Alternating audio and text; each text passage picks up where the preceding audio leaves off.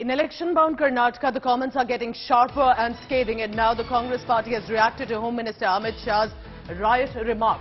A remark was made by the Home Minister uh, that claiming that uh, there will be communal riots that could begin if the Congress party comes to power in the state of Karnataka. The Congress party has reacted to it now and said if the Congress comes to power, the Bharatiya Janata Party will start riots in the state of Karnataka.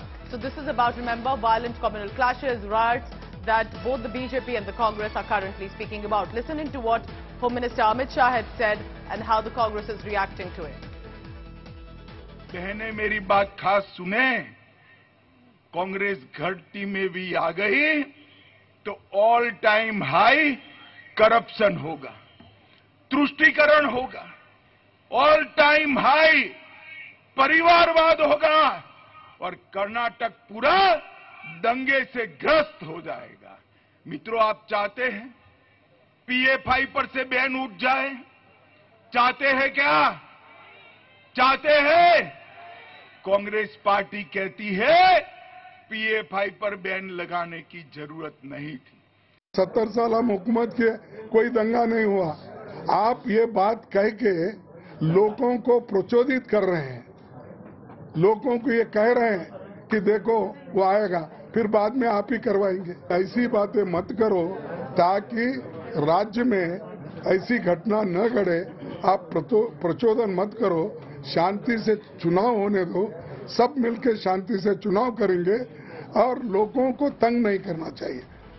So let's get our colleagues on the ground to help understand how this is now becoming a flesh, fresh flashpoint. Remember, with just two weeks to go for elections. Joining me now, Shilpa Nair in Bengaluru. Shilpa, these are very scathing comments. For one party to say, don't vote for Congress, they'll bring riots. Congress immediately hits back to say, if you do come to power, your party will start the riots.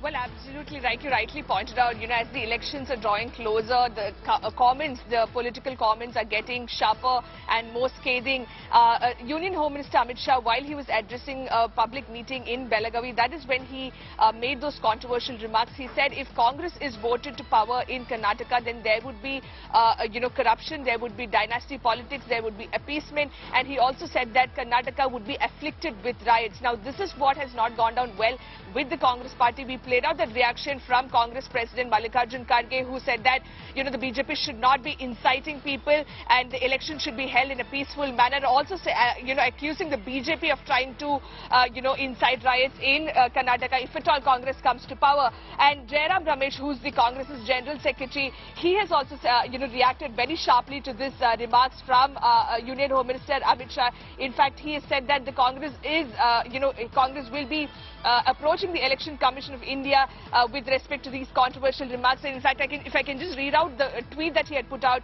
it is now clear that the BJP is losing Karnataka decisively. The response of the people to the campaigns of the Congress leadership has been overwhelming. This explains Amit Shah's four-I strategy, insult, inflame, incite and intimidate. Shame on Shah, we are racing it with the ECI. So the Congress has decided that they will take this up uh, with the Election Commission of India uh, and, uh, you know, they say that now that the, uh, the BJP feels like they are not going to win in this election, they are resorting to uh, intimidation tactics and this is nothing but brazen intimidation by the Union Home Minister is the charge leveled by the Congress party. Interesting, uh, Shilpa. Please keep tracking all the latest on that.